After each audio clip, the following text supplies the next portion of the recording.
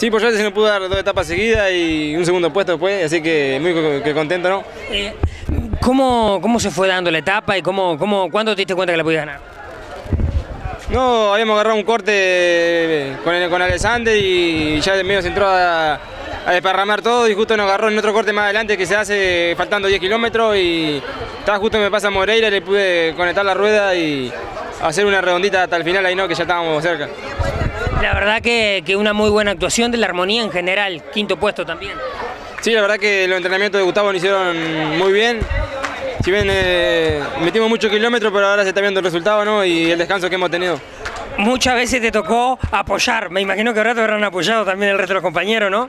Sí, la verdad que nosotros siempre estamos todo el año unidos, así que muy contentos ¿no? con todo el equipo. Felicitaciones de Gualeguaychú, este, segundo en el premio CIMA y hoy se te, este, estuviste ahí también.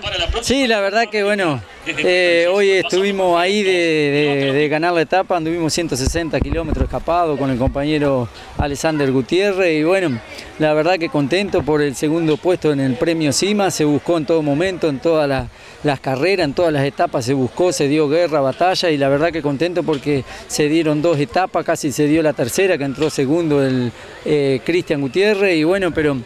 Eh, estuvo el trabajo muy en todo momento, en todo momento se estuvo, se estuvo trabajando para ganar etapas, tanto las etapas como los premios CIMA.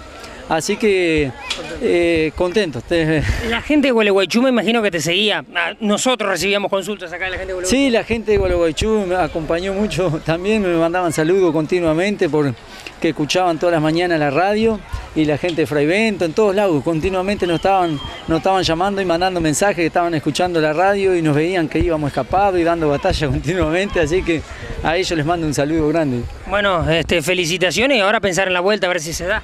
Sí, ahora vamos a ver si falta bueno las colaboraciones de algunos como para a ver si podemos estar presentes en la vuelta, pero calculo que vamos a estar porque la gente se nos arrima y nos está dando una mano, así que bueno, vamos a ver si podemos estar en la vuelta y dar el mismo espectáculo como lo, lo vinimos dando acá en la ruta.